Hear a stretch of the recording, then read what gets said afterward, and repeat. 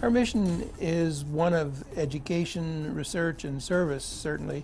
We're very proud, proud of our university and of our students and faculty. Uh, we have a long history. We've just, uh, we're just celebrating our 125th anniversary. Uh, so we've been here a while. And, and beyond that, uh, we've had a historic strength uh, in uh, research. Some of these cutting edge research and programs take place here at the University of Buffalo School of Pharmacy and Pharmaceutical Sciences. In research, we're mostly involved in developing antibody drugs for treatment of autoimmunity and for cancer. And we work with companies uh, through the Center for Protein Therapeutics to try to engineer new ways to be able to develop proteins more, more quickly.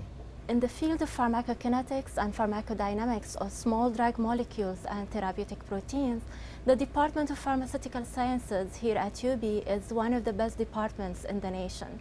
The work we do here in the lab allow us to provide a better understanding of the mechanistic determinants of the disposition and drug-drug interactions. One of the exciting moments is to see that what you were expecting is coming with the numbers. And beyond that, our prestige extends beyond uh, the shores of, of, this country insofar as we do, in fact, engage uh, in uh, global endeavors. So there's lots of patients who have HIV and not enough clinicians to take care of them and not enough researchers to do the research that needs to be done to figure out what's the best way to treat them. Uh, now, at the height of the epidemic in Africa, there's between 30 and 40 million patients. But then we have established programs now with countries in southern Africa where they send some of their faculty and students here. And then we're also actively involved in building their capacity at their universities in Africa. The university recently finished building the state-of-the-art Behling Patient Simulation Center, an interdisciplinary center where medical, dental, nursing, and pharmacy students complete integrated training in virtual clinical care areas. We use high fidelity human simulators to allow students to get a very realistic experience.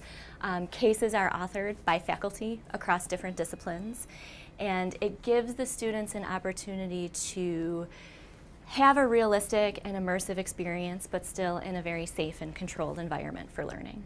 I've learned a lot about the profession of pharmacy practice and also about pharmaceutical sciences. I've also learned about my career passions in academia and research in terms of leadership, I became really involved with the organizations that were available to our chapters in, on the chapter level. So decided to come to UB was one of the best decisions of my life. Um, I can summarize my experience as being very challenging, but at the same time exciting and rewarding. The faculty and the staff are truly amazing at UB and they do care about the students. The faculty are really inspiring and engaging to develop leadership.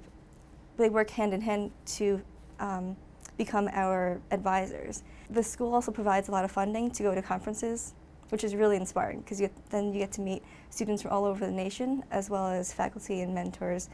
The newly constructed John and Editha Kapoor Hall is designed and built specifically for the School of Pharmacy and Pharmaceutical Sciences. It was part and parcel of the design concept from the, from the, from the very beginning that this building should offer a friendly environment for students and faculty. So our future is very bright, and we're quite excited as we migrate to Kapoor Hall, which is really truly a state-of-the-art facility. The whole future is, is really, really uh, quite exciting for us.